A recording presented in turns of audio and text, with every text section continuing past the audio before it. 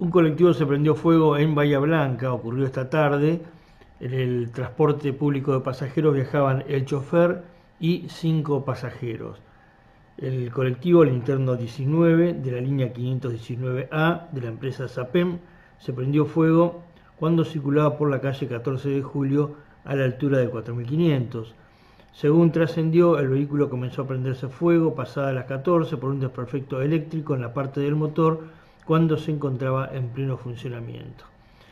No habría funcionado el matafuegos al momento de intentar apagar el siniestro, por lo que el colectivo ardió rápidamente.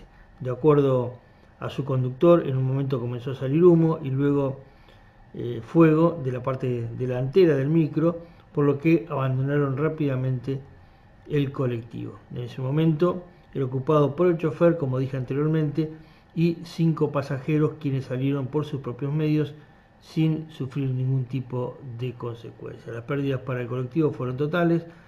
Hasta el retiro de la unidad, la calle quedó eh, totalmente cortada para el tránsito vehicular. Repito, esto ocurrió en Bahía Blanca, donde tuvo lugar este siniestro vial.